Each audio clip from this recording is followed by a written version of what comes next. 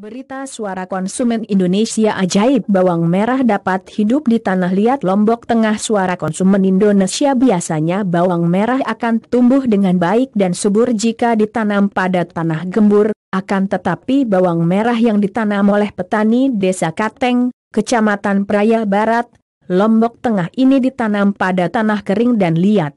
Menurut keterangan Kabit Hortikultura, Dinas Pertanian Lombok Tengah, Solihin menegaskan, Petani desa Kateng ini awalnya hanya ingin mencoba dan penasaran dengan pola tanam bawang merah yang hanya bisa hidup di daerah subur saja. Namun dengan cara menggembirakan tanah keras dan lihat menggunakan air sumur bor, pupuk kandang dan ledak, bibit bawang merah ditanam pada petak perak yang sudah diberikan campuran pupuk tadi, ucapnya.